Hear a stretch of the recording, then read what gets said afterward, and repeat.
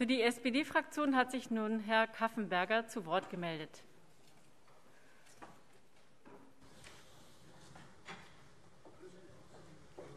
Sind denn alle immer hier so groß?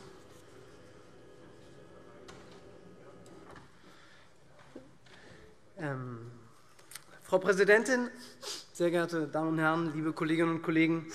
Die Bilanz der schwarz-grünen Landesregierung beim Breitbandausbau ist schwach. Seit, seit es das Digitalministerium gibt hier in Hessen, tut sich im Vergleich zu den anderen Ländern nichts. Ende 2018 war Hessen bei 1.000 Megabit pro Sekunde auf einem mittelmäßigen Platz 9. Ende 2019 lagen wir dann nur noch auf Platz 12. Mitte 2020 dann wieder auf Platz 9. Grund dafür, es wurde in der Debatte schon angesprochen, für dieses Rückkehr ins Mittelmaß ist allerdings kein Meter verlegtes Glasfaserkabel, sondern die marktgetriebene Ertüchtigung von Kabelnetzen, vorrangig im Ballungsraum. Man könnte sich fragen, ob das Motto der Landesregierung jetzt ist, zum Glück wieder Mittelmaß. Leider ähm, ist es aber so, dass nach dem letzten Breitbandatlas der Bundesregierung von Ende 2020 Hessen wieder nur auf Platz 11 steht und unter dem Bundesdurchschnitt. Ähm, vom Mittelmaß kann man da aus meiner Sicht nicht mehr sprechen. Ich frage Sie ernsthaft, kann das unser Anspruch für Hessen sein? Wenn wir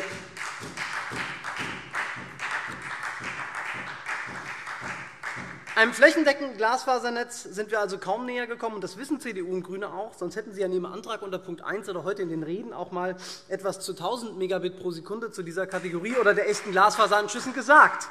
Stattdessen wird sich hier auf 50 Megabit pro Sekunde bezogen, und äh, bei Homeoffice, Videokonferenzen, Cloud-Anwendungen, dem digitalen Unterricht etc. muss ich mich schon fragen, ist 50 Megabit pro Sekunde wirklich eine zeitgemäße Bezugsgröße?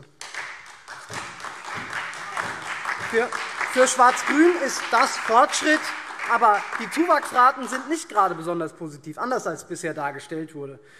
Die Daten aus dem Breitbandatlas aus dem letzten zeigen nämlich, dass ähm, von anderen Ländern wurde ja schon gesprochen, im Zeitraum von Ende 2018 bis Ende 2020, also in der Zeit, ähm, in der es in Hessen ein eigenes Digitalministerium gibt, folgende Länder bei der Ausbaugeschwindigkeit vor Hessen lagen: Sachsen-Anhalt, Baden-Württemberg, Nordrhein-Westfalen, Mecklenburg-Vorpommern und Rheinland-Pfalz. Und wenn ich mich recht entsinne, liebe Kolleginnen und Kollegen, sind es komischerweise die Länder, die gar kein eigenes Digitalministerium haben. Und das lassen wir jetzt einfach einmal auf uns wirken.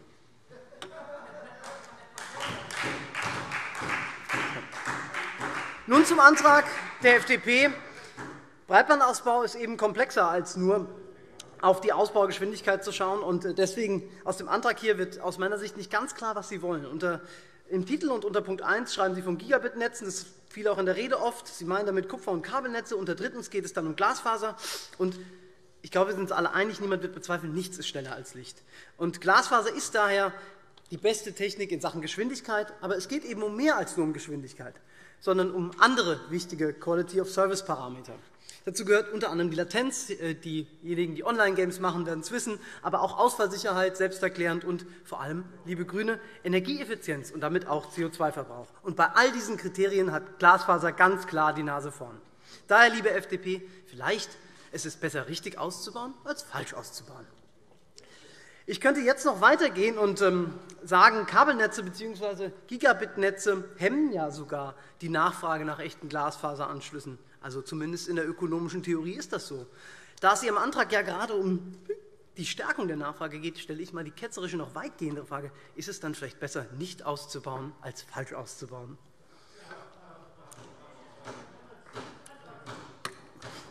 Liebe Kolleginnen und Kollegen, auf jeden Fall, wir hatten es auch schon von der Take-up-Rate, die Corona-Pandemie hat die Nachfrage nach Glasfaser erhöht, zweifelsohne. Und die Deutsche Glasfaser, die in Kooperation mit der Integra beispielsweise auch in Teilen meines Wahlkreises Vorvermarktung durchführt, die erreicht immer häufiger die dafür notwendigen 40 und das ist gut so.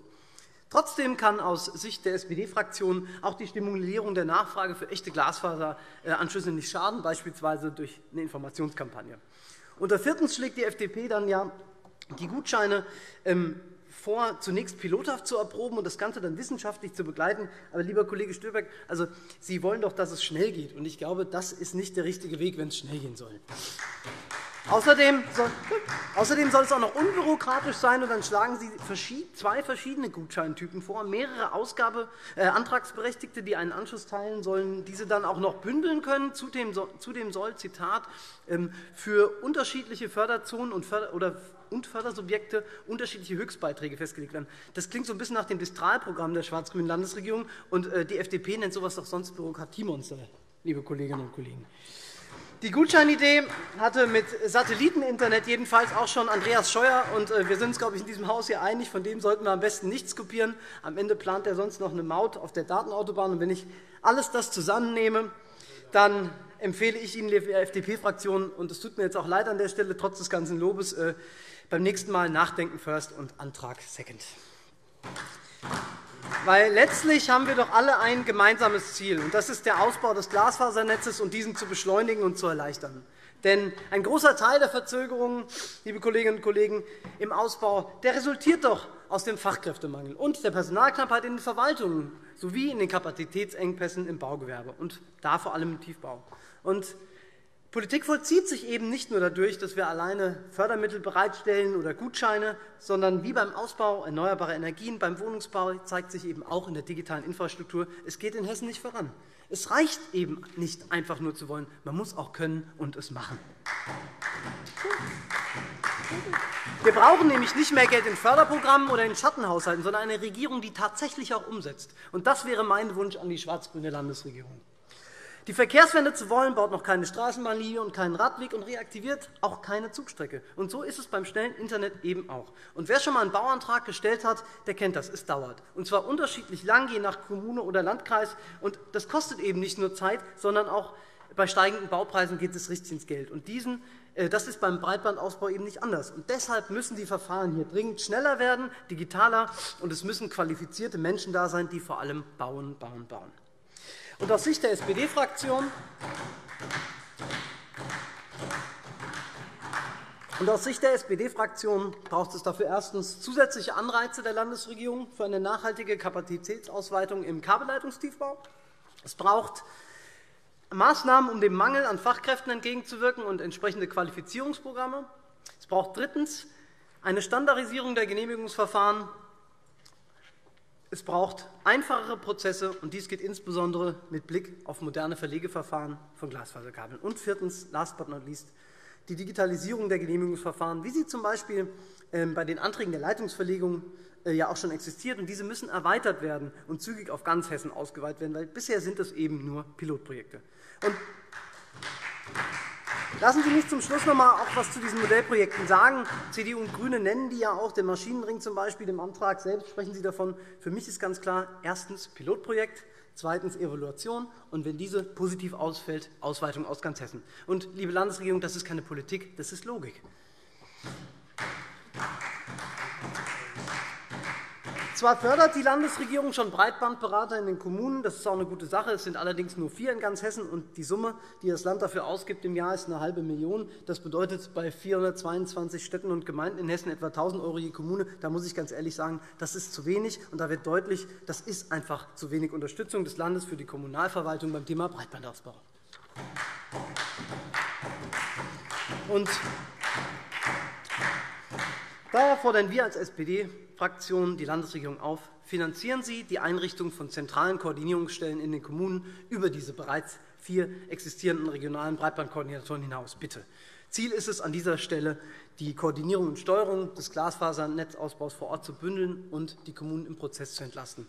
Denn um den Glasfaserausbau wirklich zu beschleunigen, müssen wir Folgendes tun. Die Baukapazitäten ausweiten, die Verfahren vereinfachen, die Koordinierung verbessern und Kommunen stärken. Vielen Dank.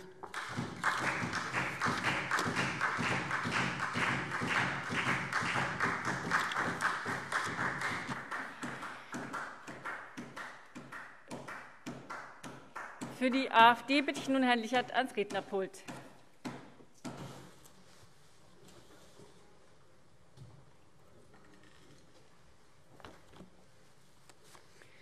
Frau Präsidentin, werte Kollegen!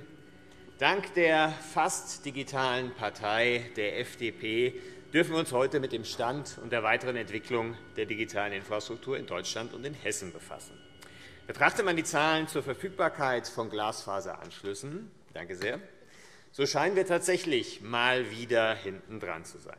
Betrachtet man die Zahlen zur Verfügbarkeit von Breitbandanschlüssen, also inklusive breitbandiger Kupferanschlüsse, da sieht es wieder gar nicht so schlecht aus. Es sind ja hier schon ein paar Zahlen hin und her geflogen. Ich muss sie wohl nicht wiederholen.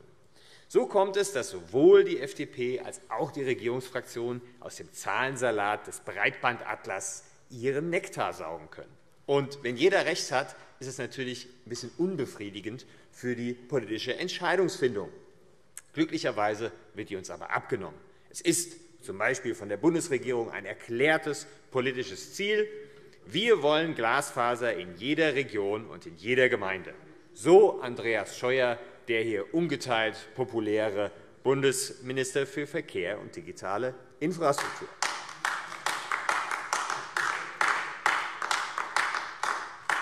Und natürlich hat die EU zu diesem Thema auch eine Meinung. Es ist ja schon angesprochen worden, Kollege Honka hat da aus dem vergangenen Sommer ähm, etwas zitiert, und ich möchte etwas aus dem vergangenen November zitieren, und zwar allein die Schlagzeile EU-Wettbewerbshüter billigen deutsche Beihilferegelung zum Ausbau von Gigabitnetzen. So, das könnte also durchaus sein, dass die Skepsis von äh, Minister Pinkwart heute gar nicht mehr äh, zum gleichen Ergebnis kommen müsste. So, ich möchte jetzt gar nicht tiefer abtauchen in die Untiefen der EU-Regelung. Ähm, das würde jetzt ein bisschen weit führen. Aber fassen wir zusammen an der Stelle schon einmal, die Debatte dreht sich also um das Wie. Wie kann das Ziel erreicht werden? Und die ne-, gute Nachricht gleich am Anfang, am Geld liegt es im Moment nicht. Es ist auch schon vielfältig hier von meinen Kollegen referiert worden wie schlecht der Mittelabruf läuft. Und auch die letzten Haushaltsberatungen haben das gezeigt. Frau Ministerin Sinemus, die uns jetzt gerade entschwunden ist, hat ähm, möglicherweise noch Erinnerungen an meine Frage, die sich in der kursorischen Lesung genau darum drehte. Was macht Sie denn glauben, dass jetzt zukünftig die Mittel besser abgerufen werden? Und die Kernaussage, oh, das wird schon. Zuversicht, aber Zuversicht alleine ist doch kein politisches Konzept, meine Damen und Herren. Entbürokratisierung und vereinfachte Genehmigungsverfahren sind auch schon vielfältig hier genannt worden. Und das stimmt natürlich. Da muss auch Hand angelegt werden, dringend. Ja, aber diese Lippenbekenntnisse gibt es auch schon seit Jahren. Und ganz offensichtlich waren sie entweder genau das, reine Lippenbekenntnisse, oder sie sind einfach handwerklich schlecht umgesetzt worden. Man muss sich das einmal vorstellen. Es werden immer weitere Beratungsangebote geschaffen, teilweise sogar eigene Gesellschaften in öffentlicher Trägerschaft, Stichwort Gigabit-Region Rhein-Main, damit die Kommunen in die Lage versetzt werden, überhaupt diese ganzen Programme nutzen zu können. Meine Damen und Herren, das ist ja eine geradezu kafkaeske Situation, die muss dringend behoben werden.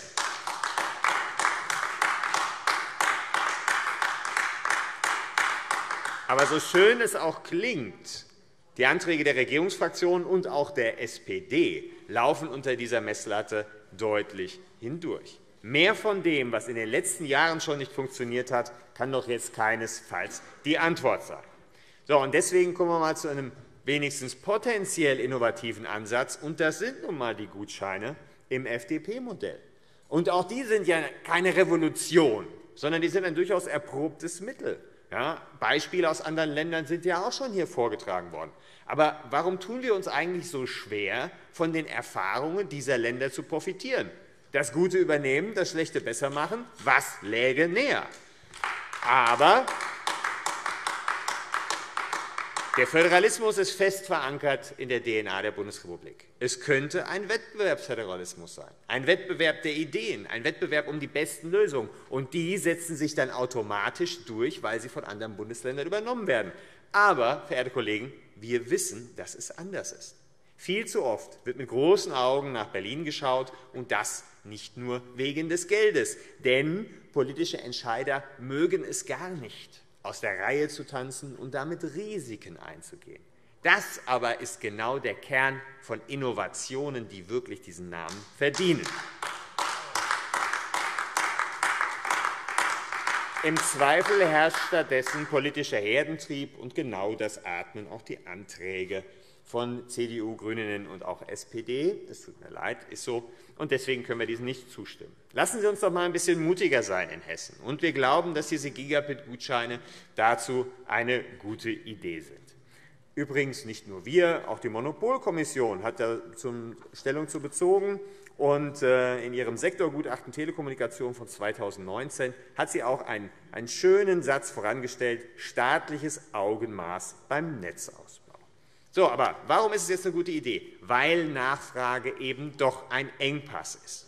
Glasfaseranschlüsse sind ja nicht nur teuer in der Installation, sondern auch im Betrieb. Und oft und für viele Nutzer steht dem eben kein angemessener Mehrwert gegenüber. Mit 50 oder 100 Mbit kommen Sie gut zurecht, ich übrigens auch, obwohl ich auch IPTV nutze. Und nicht nur Kostenerwägungen liegen dem zugrunde, sondern auch schlichtweg Erfahrungen, dass sich höhere Breitbandanbindung, also höhere verfügbare Downloadraten, oft gar nicht proportional in schnellere Downloadzeiten umsetzen lassen. Warum? Sie brauchen, nein, weil vor allen Dingen auf jedem Netzabschnitt zwischen Nutzer und Server dann auch die volle Bandbreite zur Verfügung stehen muss. Und das ist selten genug der Fall. Trotzdem bieten natürlich Glasfaseranschlüsse Vorteile, und die Gutscheine sind ein Mechanismus, um die Deltakosten für die Kunden zu senken. und Deswegen wird dann natürlich auch mehr davon gekauft werden. Und vor allen Dingen, es geht doch nicht um ein Entweder-Oder. Die Gutscheine sind eine Ergänzung und kein Ersatz für die bestehenden Fördermaßnahmen. Trotzdem könnte das natürlich zu potenziellen Mehrbelastungen der Haushalte führen. Aber wir haben doch gerade ausführlich erklärt bekommen, dass genau das nicht das Problem ist. Bei der Ausgestaltung des Förderprogramms kann man natürlich da auch entsprechende Bandbreiten einbauen, im Bedarfsfall die Reißleine ziehen. Deswegen diese Gefahr ist tatsächlich sehr überschaubar. Und, was wir auch nicht vergessen dürfen, eine gesteigerte private Kundennachfrage würde natürlich auch zu einer höheren Investitionsbereitschaft bei den Netzbetreibern führen. Es käme sogar potenziell zu einer gewissen Gegenfinanzierung. Aber das ist nicht das Primärziel. Es wäre bestenfalls Beifang. Wenn jetzt der Einsatz von mehr Geld zu mehr Anschlüssen führt, ist das doch genau das, was wir wollen. Aber es gibt auch kritische Aspekte, die man bei dem ganzen Thema betrachten muss. Erst einmal, Glasfaser ist Mittel und kein Zweck. Deswegen wenden wir uns gegen die pauschalisierte Diskriminierung von Kupfer. Die einschlägigen Verbände haben sich seinerzeit und auch immer heute noch sehr kritisch z. B. mit der Vectoring-Entscheidung der Bundesnetzagentur auseinandergesetzt. Warum? Ja, klar, weil weniger Glasfaseranschlüsse dadurch äh, geschaffen wurden. Interessanterweise gerade gestern fand eine Pressekonferenz der Bundesnetzagentur dazu statt. und Die hat sich natürlich ein bisschen selbst gelobt, gehört einfach dazu.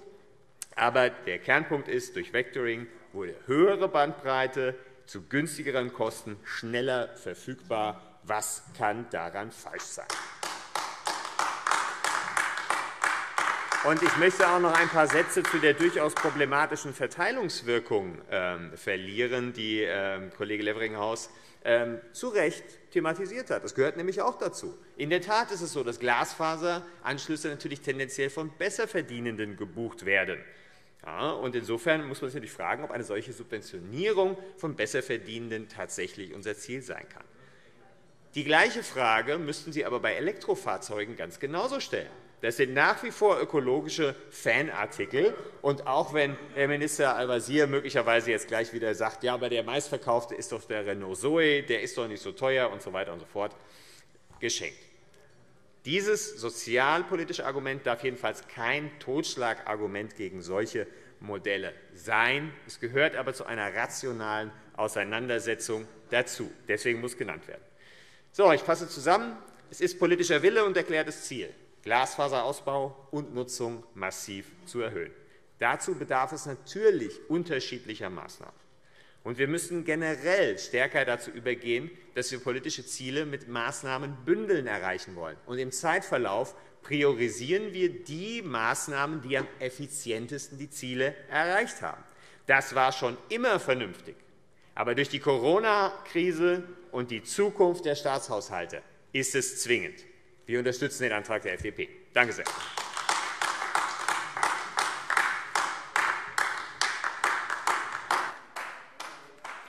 Für die Landesregierung bitte ich Frau Ministerin Prof. Sinemus ans Rednerpult.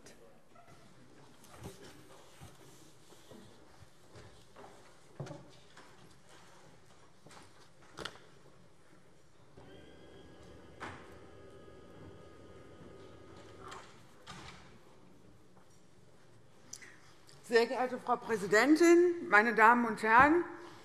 Ich konstatiere, wir sind uns zumindest einmal einig über ein Ziel, nämlich wir wollen den Glasfaserausbau schnellstmöglich, bestmöglich voranbringen. Wir sitzen hier oder stehen hier, je nachdem, um uns mit dem Antrag der FDP und den anderen zu auseinanderzusetzen.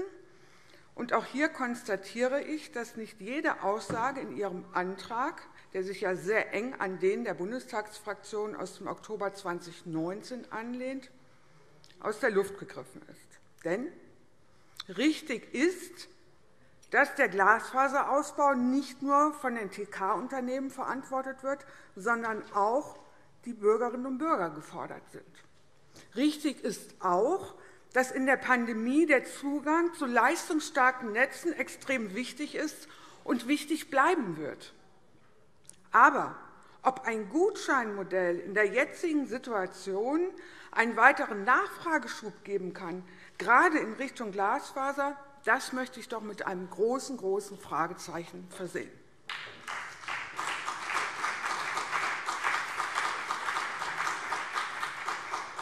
Ich halte vielleicht in einer bisschen anderen Perspektive als Sie, nämlich unsere Gigabit-Strategie, durchaus als eine erfolgreiche Grundlage, um konsequent unser Ziel des Ausbaus weiterzuverfolgen.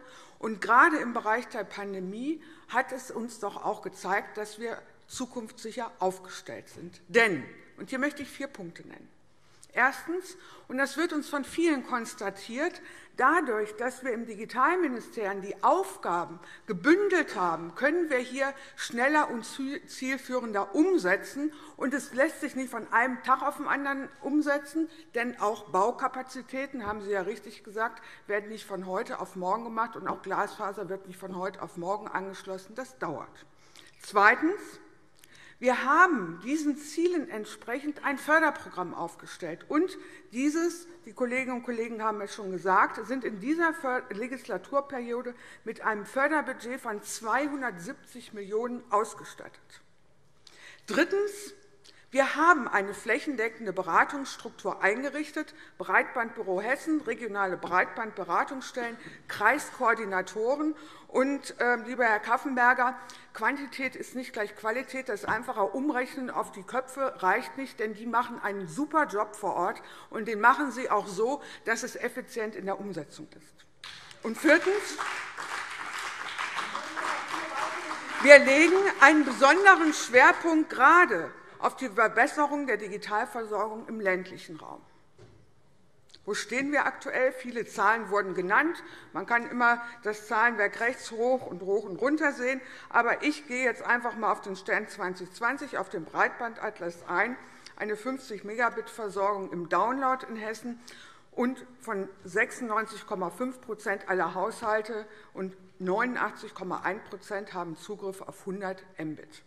In Hessen sind 53% der Anschlüsse gigabitfähig, und damit konnte der Versorgungsgrad seit Anfang 2019 um insgesamt 33,7 Prozentpunkte gesteigert werden. Klar kann man sagen, das ist nicht gut genug. Und auch wir wollen hier die 100% richtig. Aber knapp 34% in den letzten zwei Jahren zugelegt zu haben, ist auch ein Fortschritt. Und das Das zeigt, dass in Hessen der Gigabit-Ausbau enorm an Fahrt gewonnen hat. Und das haben wir geschafft, in einem guten Miteinander mit den Akteuren sie einzubinden und vor allen Dingen durch gezielte Förderung dort, wo der Markt aus wirtschaftlichen Gründen nicht tätig wird. Ja, wir haben viele Aktivitäten hier im Land Hessen. Und ja, die Nachfragesituation hat sich durch die Krise deutlich verändert. Viele Kunden haben sich angesichts der Herausforderungen von gleichzeitigem Homeoffice und Homeschooling – ich kann Ihnen davon ein Lied singen – mittlerweile für höhere Versorgungsraten entschieden.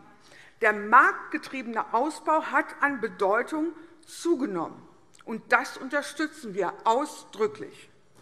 Aber wenn wir fragen, was die Unternehmen, deren Interesse die FDP angeblich besonders gut vertritt, benötigt, heißt es fast immer schnelle, einfache Genehmigungs- und Förderverfahren. Und genau dem möchten wir Rechnung tragen. Und wir tun das erstens durch eine Änderung der Hessischen Bauordnung, indem wir z. B. für den Mobilfunkausbau bereits erhebliche Erleichterungen schaffen.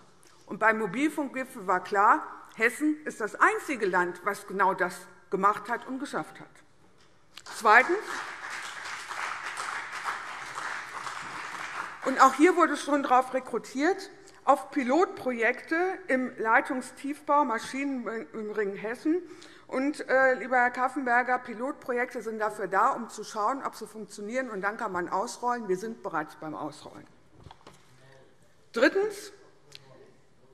Wir werden und wollen für schwer erschließbare Einzellagen, besonders in entlegenen Gebieten, hier als Überbrückungsmöglichkeit genau auf Satellitenkommunikation setzen. Das ist in einer Übergangsphase für uns der richtige Weg. Weiterhin erarbeiten wir, und auch das war ja gefordert, zusammen mit Rheinland-Pfalz am digitalen Genehmigungsverfahren für den Glasfaserausbau im Rahmen der OZG-Umsetzung. Damit sind wir bundesweit Vorreiter. Und fünftens. Unsere Gigabit-Förderrichtlinie ist so ausgelegt, dass auch Leerrohrförderungen zur Verringerung der Ausbauzeiten und der Kosten beinhaltet sind. und Diese befindet sich gerade in der Abstimmung. Das Hessische Gigabit-Portal wurde bereits genannt. Auch hier werden wir die Planungs- und Entscheidungsprozesse beschleunigen. Das ist eine sehr gute Möglichkeit. Auf das heute online gegangene Digitalinfrastruktur-Monitoring, lieber Herr Steberg, sind Sie bereits eingegangen. Und das ist unser Ziel, nämlich hier für mehr Transparenz zu sorgen. Klar, auch wir wollen schneller, dynamischer vorankommen, und wir wollen uns daran messen lassen. Und wir wollen dies klar und transparent tun. Landkreisbezogen können Sie hier sehen, wo stehen wir, und wir wissen, wo wir hinwollen. Das sagt unsere Gigabit-Strategie.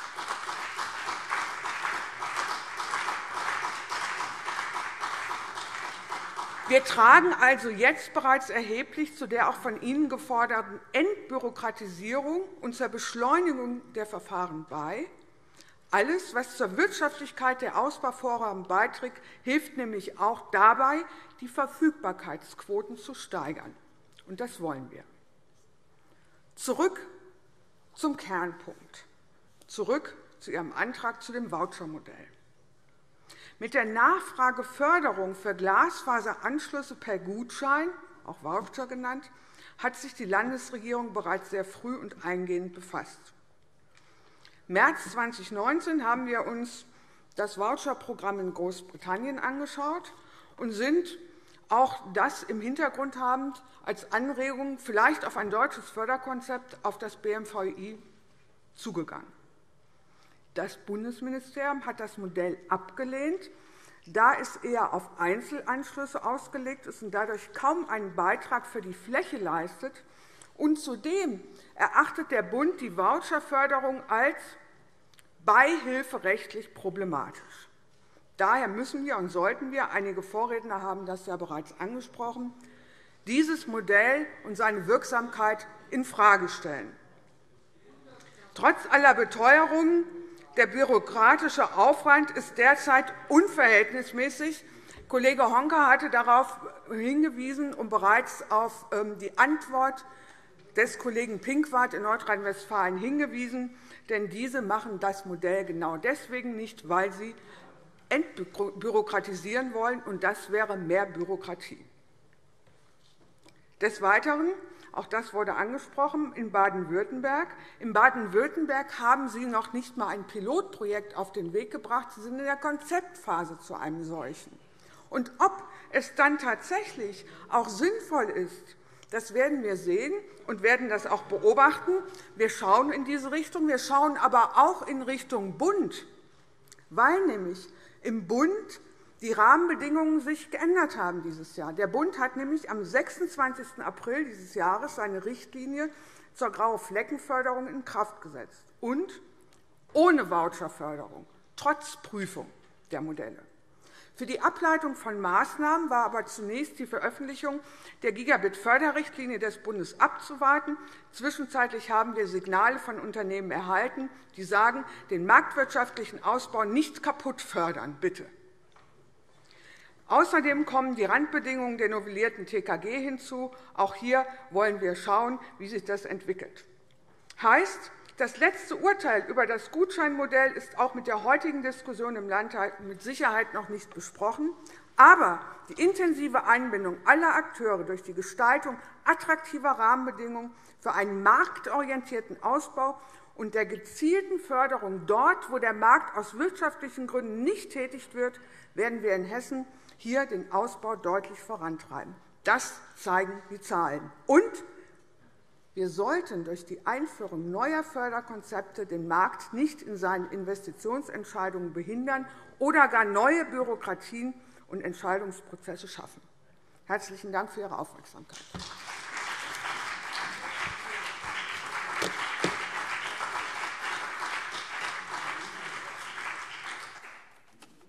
Meine Damen und Herren, die gerade beratenen Anträge äh, den Antrag der Fraktion der FDP, Drucksache 20-5740, den Dringlichen Antrag der SPD, Drucksache 20-5785 und der Dringliche Entschließungsantrag Fraktion der CDU, Fraktion BÜNDNIS 90 die GRÜNEN, Drucksache 20-5803 überweisen wir zur weiteren Beratung an den DDA. Und wir treten nun in eine einstündige Mittagspause ein. Das heißt, wir treffen uns hier wieder um 15 Uhr, und ich wünsche Ihnen einen guten Appetit.